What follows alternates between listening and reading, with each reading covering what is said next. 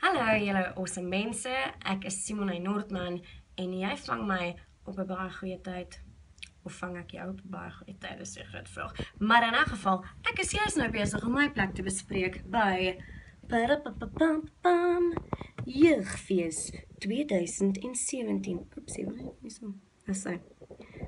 Jeugfees 2017 met 'n amazing line-up mense wat saam met jou ehm um, die Here se teenwoordigheid gaan in usher. Ons is so opgewonde om um, om die Here te encounter en en to have him encounter us om vir ons liefde vir ons te wys.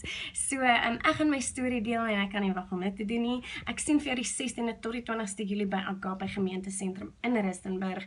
Dis gratis. Het ek al gesê dis gratis? Dis absoluut gratis en jy kry nie meer goeders wat gratis is nie bepaal met die bloed van Jesus. En dit wag vir jou.